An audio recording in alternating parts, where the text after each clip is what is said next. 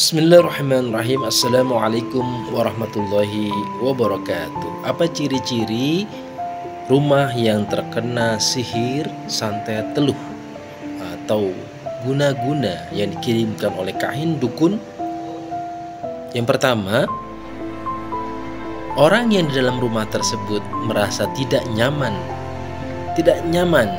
Terkadang merasa panas Terkadang merasa seperti emosinya meluap-luap, terkadang perasaannya bergejolak, campur aduk. Banyak sekali mengganggu psikologis orang-orang dalam rumah sehingga terjadilah percekcokan antara satu dengan yang lainnya. Jadi, waspadalah ketika kita merasakan seperti ini. Kok masalah kecil jadi besar ya? Kok masalah nggak ada selesai-selesainya ya? Kok konflik terus ya? Kok berantem terus ya? Kok bisa begini ya? Jadi kita bingung dan tidak nyaman dalam rumah tersebut. Yang kedua banyak sekali bunyian-bunyian aneh di atap atau di langit-langit.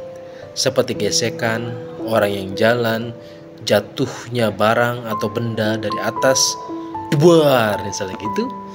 Dan terjadi ketika jam 1 jam 2 ya terjadi keanehan-keanehan di dalam rumah.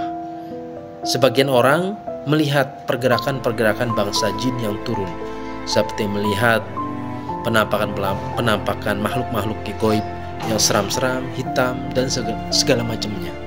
Ini ciri-ciri yang terkena rumah sihir ya. Rumah terkena kiriman sihir atau santet atau teluh. Penampakan-penampakan itu bisa dirasakan secara johir buat manusia yang tidak punya sinyal bangsa jin punduk ini bulu kuduk ini merasa merinding terus. Jadi keberadaan jin itu berarti dekat dengan kita merinding. Bulu kuduk merinding itu interaksi kita dengan bangsa jin. Dan sebagian manusia yang punya sinyal bangsa jin dalam arti di dalam tubuhnya memang sudah ada bekas bangsa jin masuk atau di dalamnya ada jin yang memang bercokol kalau dia yang punya sinyal dia bisa menampak bisa melihat jelas penampakan-penampakan jin tersebut.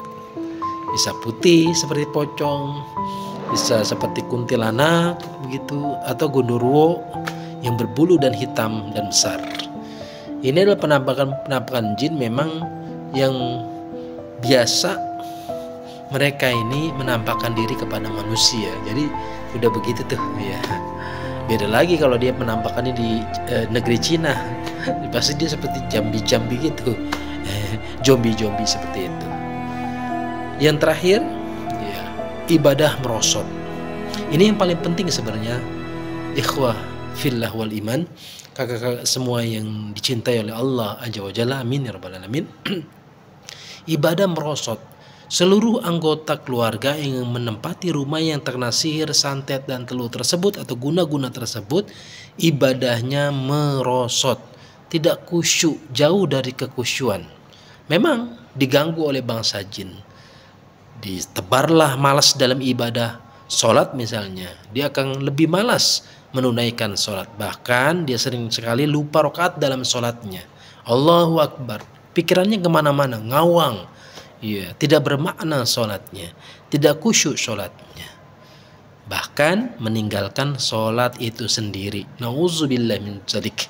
Sesungguhnya perbuatan yang paling buruk, paling hina, melebihi zina dan pembunuhan adalah meninggalkan sholat. Karena as-salatu imanuddin. Sholat itu tiang agama.